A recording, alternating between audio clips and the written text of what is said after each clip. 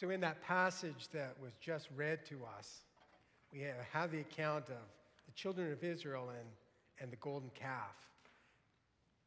And I want you just to get this picture in your mind in terms of what is going on here. Moses had led the children of Israel out of Egypt, um, bringing them to the foot of Mount Sinai. So they had wandered and they had camped at the bottom of Mount Sinai. Exodus 19, Exodus 20, we have the account of God coming down, and it talks about in thunder and the sound of a trumpet. And God comes down and speaks in the hearing of the people gathered around the foot of the mountain, the Ten Commandments. If we look at the number of people, there was over 600,000 fighting men. So you throw wives and children and older people in that mix. There probably was 2 million of them gathered around the foot of the mountain there going forward from God giving them the Ten Commandments, then what transpires? God gives them sundry laws dealing with society. And then we come into Exodus 24, or where God calls Moses up on the mountain. And we know that Moses was on that mountain for how long? 40 days and 40 nights. And there on the mountain, God gave Moses instructions in terms of how to set up the tabernacle, how to construct it, um, the gave them details on the furnishings and the garments of the priests in terms of what would occur in that tabernacle. And the end of those 40 days, Moses had fasted this time. At the end of the 40 days, we had that passage where God then inscribes with his fingers the Ten Commandments on these two tablets of stone. But while Moses was on the mountain, and I might add in Exodus 24, it says, Moses went up in the cloud on the mountain, but from their perspective, on the mountain, the top of the mountain looked as if it was a consuming fire, probably giving light to the people that were there at the foot of the mountain. While Moses is up there for 40 days, so what are we saying? Like a month and a week? Let's say five weeks. What transpires? Well, the children of Israel that were down at the bottom were saying, you know, let's set up these gods. They had come from an Egyptian, Egyptian society where religious worship and idols was always problem. It was something that everyone did. And in part of pagan worship, when they'd worship idols, and you can see this throughout the, the, the then known world, always attached to it was always um, sexual immorality. So it was more than just going to the temple and bowing down at the idols, but there was all this other stuff associated with it. And so the children of Israel, who had heard God say, What? Thou shalt have no other gods before me. Thou shalt not make unto thee a graven image in the likeness of anything in the heavens above, or in the earth beneath, or in the water underneath the earth. They heard that. They were shaking in their boots, and they said to Moses, Don't let God speak to us. You go speak to God, but don't, let, don't speak to us directly. But here, what did they do? In, in direct contradiction to what God had already said, they set up this pagan worship. And so, there on the mountain, Moses was unaware what was going down down in the valley or down at the foot of the mountain. Uh, we have God then speaking to them in terms of the response. And then, as, we, as was read to us in, in Exodus 32, verse 7, it says, Then the Lord said to Moses, Go down, because your people whom you brought out of Egypt have become corrupt. They have been quick to turn away from what I commanded them and have made themselves an idol, cast in the shape of a calf. They have bowed down to it and sacrificed to it and have said, These are your gods, O Israel, who brought you out of Egypt. I have seen these people, the Lord said to Moses, and they're stiff necked. Now leave me alone so that my anger may burn against them, that I may destroy them. Then I will make you, Moses, into a great nation. Let's pray. Dear Lord, as we bow in your presence here this morning, we just ask that you would clear our minds that you would clear our thoughts. And as we consider your character, your immutability, Lord, we just ask that you would give us a glimpse of your glory. Holy Spirit, we ask that you would come in our midst, that you would speak to us in a mighty way and um, be, and be glorified with us this morning. For we ask this in Christ's name and through what he accomplished on the cross on our behalf. Now, we're taking a, a few weeks to, to discuss what we call the attributes of God. And, you, and I guess that would be what we would term as theology. And you may be asking me, um, Why do we need theology? Is that not something for the academics? But I like to keep in mind that at one time people thought, in terms of the universe and how the solar system worked, they thought the Earth was the center of the solar system. And so they, and the Bible doesn't say that, but because the earth and the solar system was created for man, they came to that conclusion, though scripture doesn't state that. And so they said that the earth was fixed and the sun moved around the earth. Now, if you've gone to school, you probably know that isn't quite correct. But they then had this problem because people, they always want to, especially if you live by an ocean, you want to chart the tides. When is high tide, when is low tide, so I know if I've got to go out in my boat, I can get it out of the sand. And, or they were wanting to look at the movement of the stars in the sky, or how seasons and the years, and even when we talk about uh, the 21st of March and the 21st of June, the oldest or the longest and the shortest day, how does all that work? And as they tried to model it, it never worked. It didn't fit.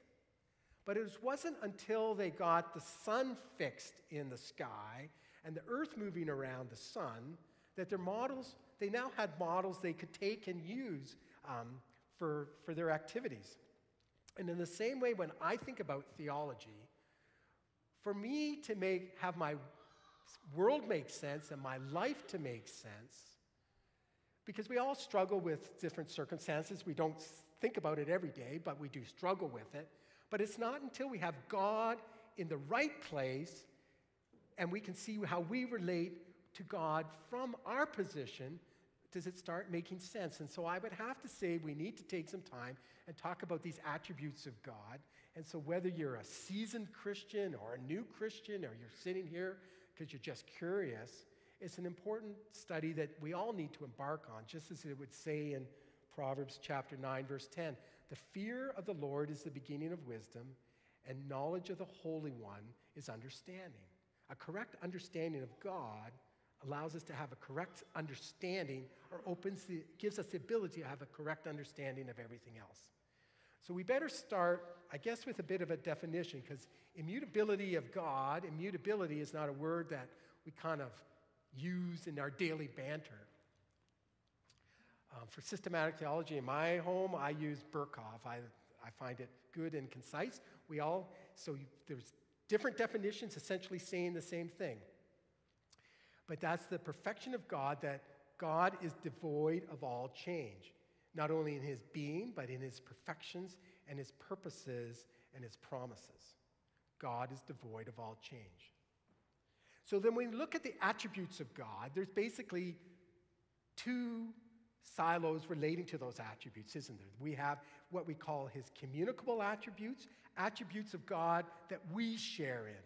Those attributes, we talk about justice and love.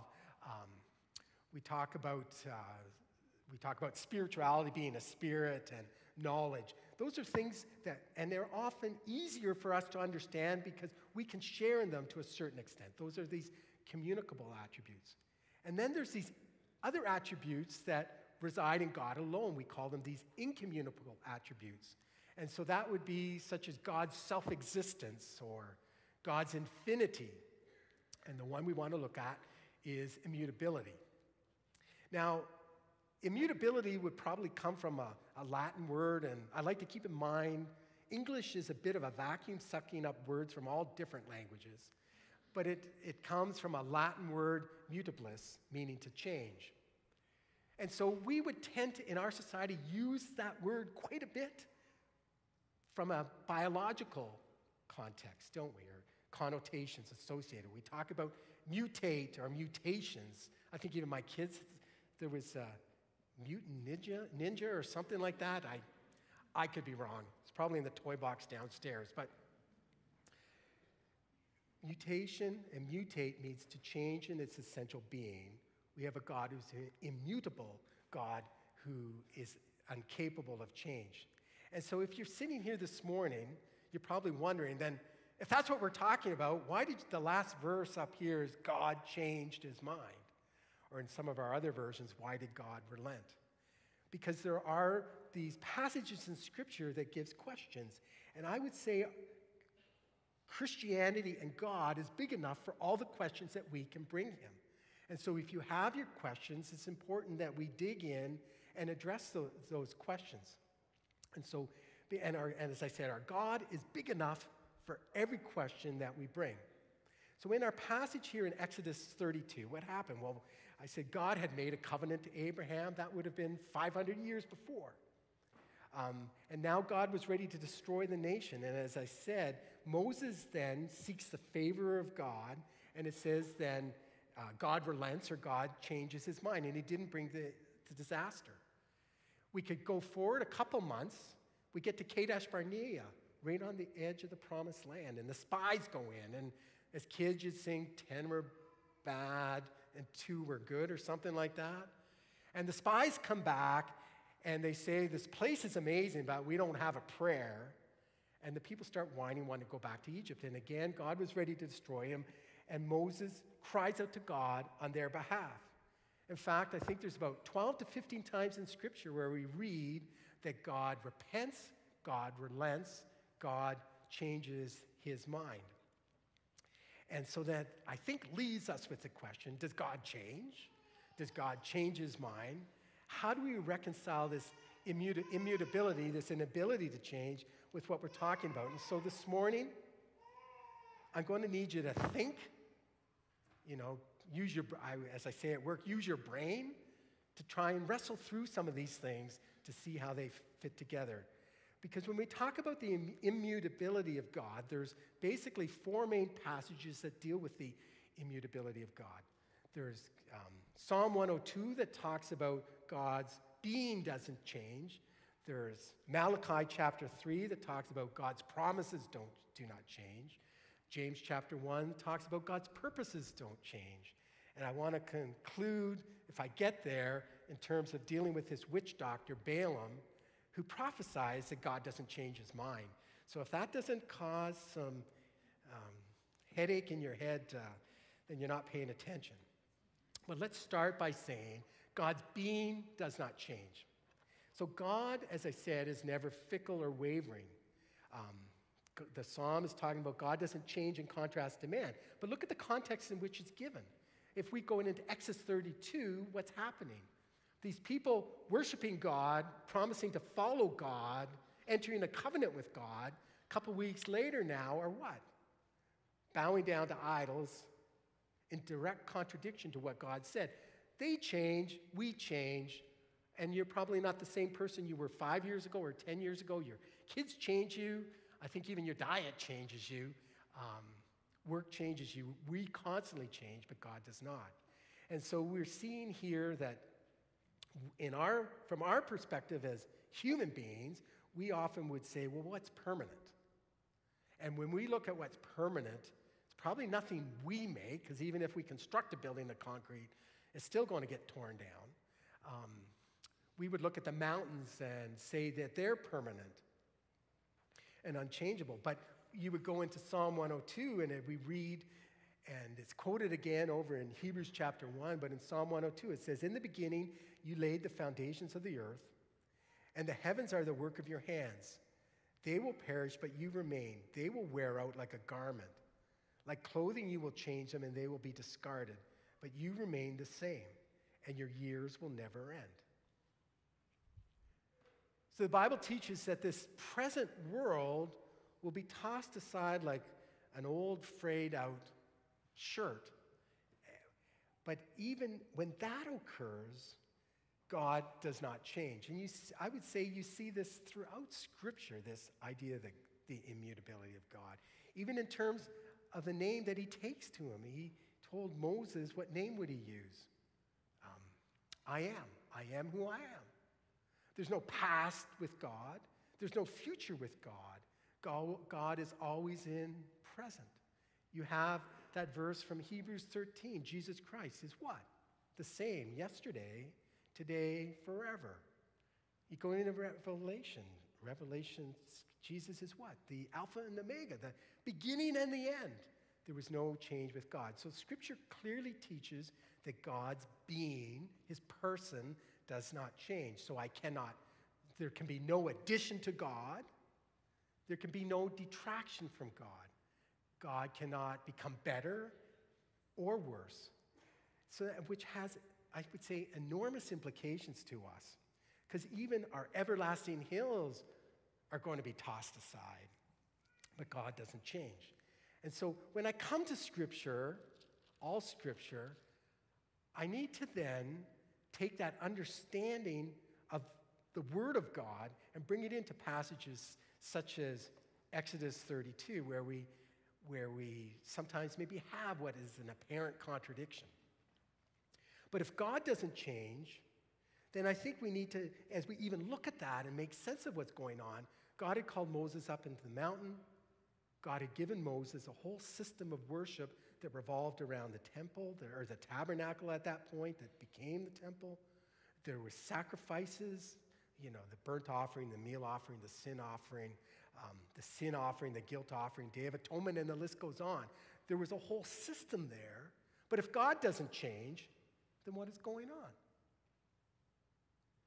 So there is, so then, because we know as we look at the full unfolding of Scripture, we see that throughout Scripture, God is unfolding his plan of redemption. He would use at different times and in different places different methods to teach us about himself that's unfolding.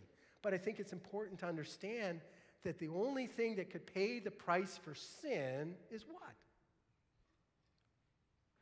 Well, the only thing that could pay the price for sin, a consequence of sin, would obviously for me would be hell for all eternity, absence from the presence of God. But the only thing that could pay that price would, could be God Himself in the person of Jesus Christ. And so, if God doesn't change in terms of what's going on in our understanding of Scripture, then when I look at it, then how did Moses and Abraham enter a relationship with God? Well, they, they entered a relationship with God no different than how you and I would enter a relationship with God. That they entered a relationship with God because they themselves were sinners, just as you and I were sinners. Um, they entered it on the basis of faith. And that faith was based on the finished work of Jesus Christ because he alone could pay the price for sin. So then, as I said, I just want to get the your brain juices moving here. So that in terms of salvation, it was always the same. Sure, they expressed that faith differently, but they were saved on the basis of faith, just as you and I are required to do, just as it would say in Ephesians 2 8 and 9. For by grace you are saved through faith, and it is a gift of God not of works, lest any should boast. So God's person doesn't change. There is no change in God. But we also go on as we move through Scripture, we see that God's promises do not change. Um, and I said, I, I, I want to just read from Malachi chapter 3, 6, and 7. And I like the emphaticness of the King James, the authorized version in that verse. I think Tyndale renders it right. For I am the Lord, I change not. Therefore, you sons of Jacob are not consumed. Now, what's happening here? And I will hopefully bring us back to Exodus 32. Who is Malachi? Well, Malachi was the last prophet in the Old Testament. The children of this would have been a thousand years after Moses. As a consequence of sin, God had, had taken them out of the land. They had come back to the land under Ezra Nehemiah and restored a system of worship there, this, the sacrificial system. But what were people doing? Well, rather than bringing their best to God, what would they bring? Well, just something that would look good. They would bring their sick and lame animals as an offering. Basically, they were giving God what we would call the leftovers. They weren't giving God the first place, they were just kind of fitting them into the life that they lived. I think it's probably no different than sometimes I find myself falling in, that I want to look at my Christianity as kind of a spectator sport. Do you know what I mean? Well, I come for an hour on a Sunday morning, and I realize, because it's what I do, and the songs are okay. And then, but they were great this morning. But the,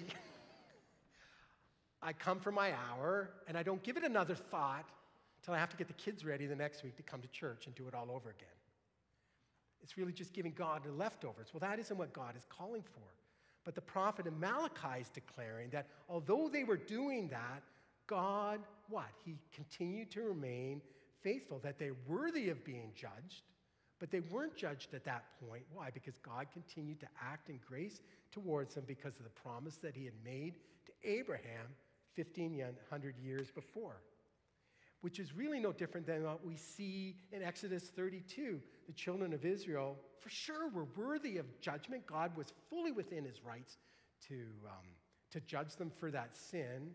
But Moses, what did he do? He appealed to the promises that God had made because God's promises do not change. It was worthy of judgment, but God listened to his request, Moses' request, and held it off at that point in time. And so we, we see here, as I, as I kind of look at it, that God, in saying that to Moses, God had promised to make a nation out of Abraham. God had promised to bring them into the land. And in, in one sense, God have, could have fulfilled his word because his word doesn't change because he cannot change through Moses. But I, I think it's important as I kind of look at this and try and put it together that although they, Malachi and passage of Malachi, and also in that they were Exodus 32, as they were gathered around the golden calf, they were worthy of judgment, but God held back his hand because of the commitment he had made. God does not change, his word does not change, and I can take that to the bank. Um, that brings comfort for those that are his children, ye sons of Jacob. And I suppose it brings terror for those who are not. But if God's promises doesn't, don't change, then I think it's also important that we understand that God can never elevate one of his attributes to sacrifice another. Do you know what I mean? So when I talk to some of my Muslim friends, and they'll tell me about all the things that they have to do, to be right with God. And I'll, I, this has happened a couple times, and I'll say to them, Well, what if you sin against God? And the response has always been, Well, God is merciful. And that's true, God is merciful, but God is never merciful to sacrifice his justice. God holds because he can't change and his words can't change. All of his attributes are held up at the same level, and there's no depreciation from one to elevate another. So, for God to show us mercy, also had to satisfy his just requirements. So, we see that even at Calvary, we see God pouring out the judgment that our sins deserve on Jesus Christ, so that we could even read, as we read in Romans chapter 4, that God could be just but he could also be the justifier. He could make us just. He could show us mercy because his justice was fully satisfied. God never um, depreciates one attribute to elevate another. All are held up in tandem, which does, again, force us to ask the question then, what side of God's favor am I on? God's being doesn't change, God's promises do not change but also God's purposes do not change. And I have these verses from uh, James chapter 1, 16 and 17, where we, where we read, Don't be deceived, my dear brothers and sisters. Every good and perfect gift is from above, coming down from the Father of lights, of heavenly lights, who does not change like shifting shadows. God, in dealing with us, deals with us according to his purposes, deals with us eh, deals with us as a source for his children, deals with us for his good. Now, that verse in James is given, I, I want to just put it in context for a minute because you, if you were there in your Bibles and you back up two verses, what does it say? It says, God does not tempt any man with sin, but a man is tempted when he's drawn aside by his own lusts and enticed. So we see there that God never tempts with evil, God never tempts us to sin, that sin is the response that I make. And then to drive the point home, James says, God never tempts us to sin because God only deals with us according to his purposes, and those purposes are for our welfare, for is to be pour out on us his goodness. So as I try and tie that together. God's being doesn't change, God's promises do not change, God's purposes don't, do not change, then as I kind of look at what's happening in Exodus 32, we're not, we, we are not given what was going through Moses' mind. We only see God's response. But we see that God was dealing with Moses consistent with his character, fully within his rights, um, because judgment was deserved. We see that God was dealing with Moses for Moses' good and for the good of the children of Israel that were there. Because God cannot change in any of those attributes. And, and so that, just in case, like, if you had that question, is God tempting Moses to sin? Say, well, sure, make a nation out of me. That sounds great. But I, I would tend to, as I look at that, based on the total scripture, God would have known Moses' response, but in, go, in God, in dealing with us, only deals with us for our good, is the source of every good and perfect gift. Just as we would read in Romans 8 28. And we know that all things work together for good to those who love God, who have been called what? According to his purposes. God's being doesn't change, God's promises don't change, and his purposes don't change. Because the long and short of it is, God does not change his mind. So, our final passages that I want to read was from Numbers 23 19 and 20. Now, Balaam, essentially, Balaam was a witch doctor.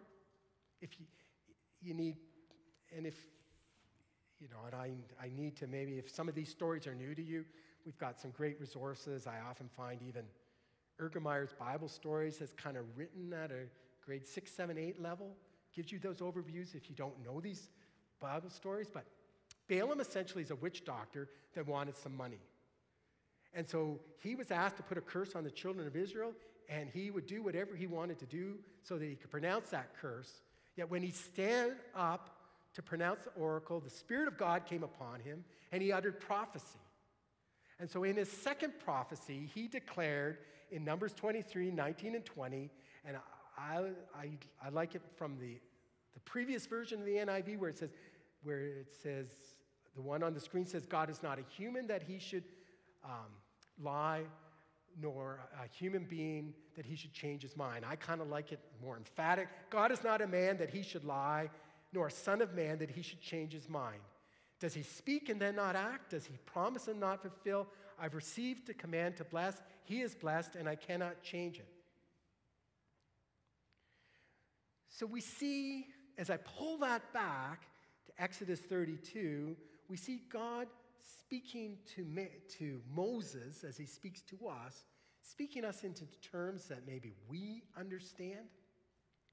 So, because there are a few t- places in Scripture where we kind of perceive that God has changed his mind, God has had second thoughts.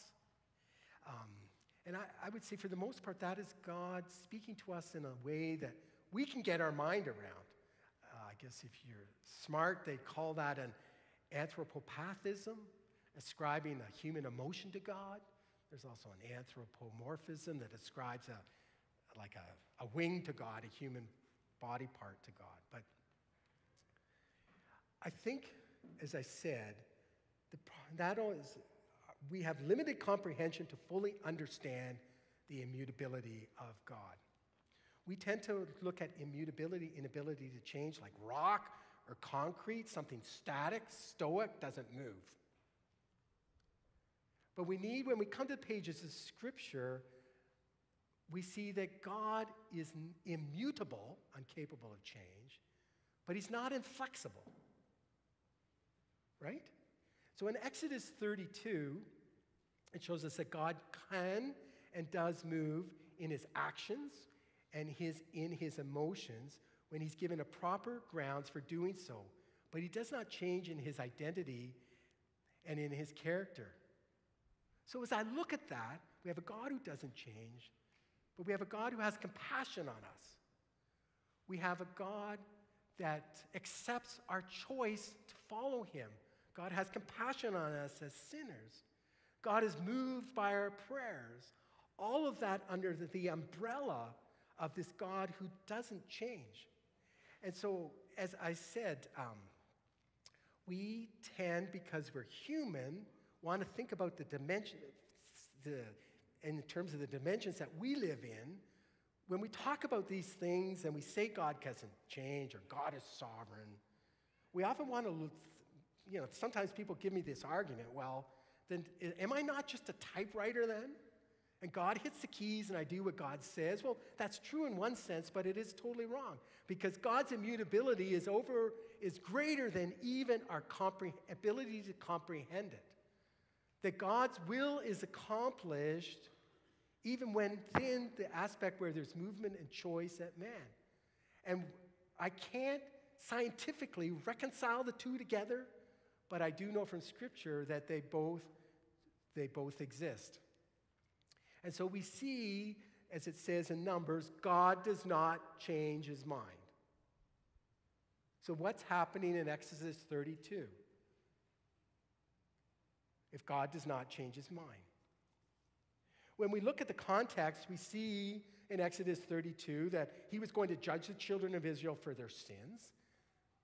They fully deserved what they were going to receive. And God didn't change his mind on that conclusion, did he? We can go on in the chapter, and verse 33 and 34 of Exodus 32 says, The Lord replied to Moses, Whoever has sinned against me, I will blot out of my book. Now go lead the people to the place I spoke of, and my angel will go before you. However, when, when the time comes for me to punish, I will punish for their sins. So, what does that mean to us? We have a God who is immutable, but as I said, we have a God who is moved by our prayers, all within the umbrella, under the umbrella of his character and will. Some would want to argue, well, if God can't change, then why change? Why pray? Because God's what God's going to do, God's going to do. Well, I think there's a bit of a helpful quote that helps me get my mind around it. And maybe I'll read the full thing, and if I had had my act together, it would be on the PowerPoint, so I apologize. Um, I need to make some changes too. But God is omniscient, an all knowing being who cannot change his mind. If he does, he's not really all knowing. Therefore, not, God cannot change his mind in answer to prayer. When we pray or have prayed, God only knew what we were going to pray, but he ordained our prayers as a means of accomplishing his purpose. Prayer is not a means by which we change God, it's a means by which God changes us. Prayer is not a means of us overcoming God's reluctance, it's a way for God to take hold of our willingness. Prayer is not a means of getting our will done in heaven, but it's a means that God uses of getting His will done on earth. You see, we're not fatalistic just accepting what will happen because that's God's will. Well, that position is wrong. But we have a God who is greater and not bound by our limitations, that his immutability exists even over our positions. But we know under that umbrella we have a God that moves in his actions and emotions towards us when they're consistent with his will and his purpose. So that it would say in James, the effectual, fervent prayer of a righteous man availeth much. God is moved by our prayers, but God is manipulated. And do you see the difference there? We, it's not a genie that we just keep rubbing and maybe they'll finally it'll pop out of the lamp. Prayer is answered when it's in accordance with God's character and His will for the, those of the lives involved. And when you think about it, if God's purposes is to always operate in what's be- in my best interest, what is best for me for my good, then why would you not, why would you want a God to answer prayer that isn't consistent with that purpose? And so, as I see our times ticking away, just a few implications. So, um, we have a, a, cottage.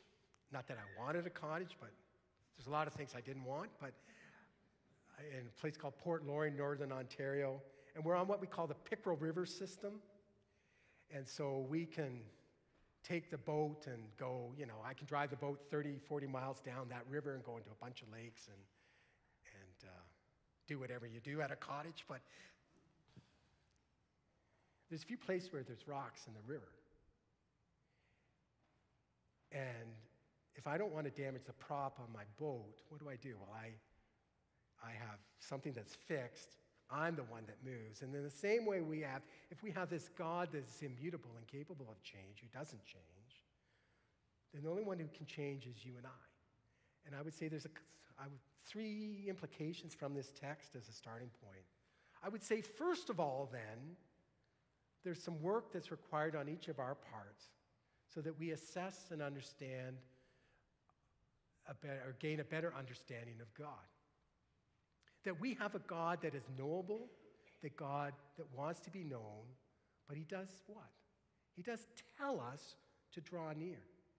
And so for you to get to know God, at some point, some, you enter a relationship with God on the basis of faith, but it is a journey. And at some point, you need to roll up your sleeves and, and spend time in Scripture. And if this whole thing is new to you, um, we have an alpha program here, and I think it's, it will be starting in September, kind of an introduction to a Christian faith, where you can ask your questions and there can be conversation. But again, it's a start, it's a process. And uh, I said to go deeper in your relationship with God, that's more than a coffee and a daily bread as you head out the door. That some work is involved and it's well worth the work. But as well, I think there's a warning in the text. Just as a, that God will never change his mind, God cannot change his mind once you've made your choice. He does leave us with the ability to choose underneath that umbrella of his sovereignty and his immutability. But the choice that we make are valid choices, but there is a question because it said, I am the Lord, I change not, therefore you sons of Jacob are not consumed. So there is a real question that I cannot leave the immutability of God, or Exodus 32, without asking the question Am I in that place of God's favor? Have I entered a relationship with God so that I'm his child?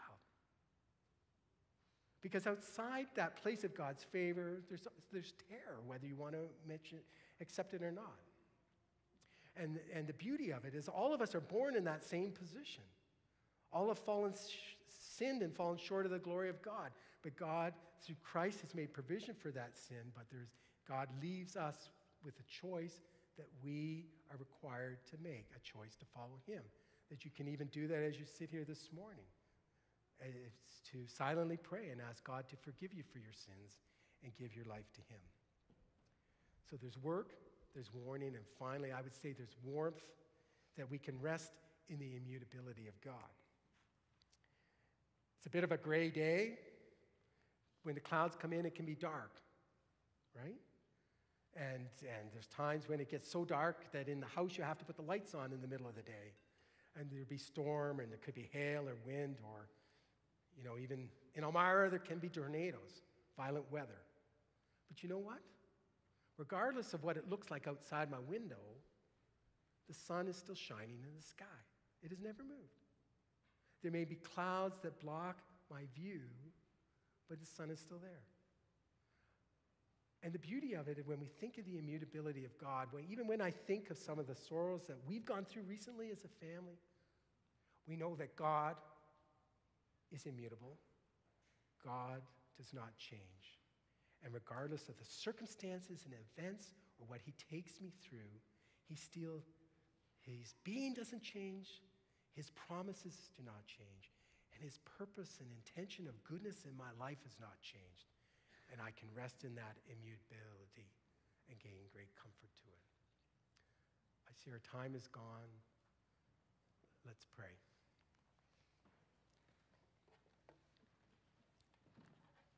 And it could be as you're sitting here this morning, you've got some questions as a result of our conversations. And, and as I said, we have a God who's bigger and willing for all our questions. So please uh, talk to me or someone here.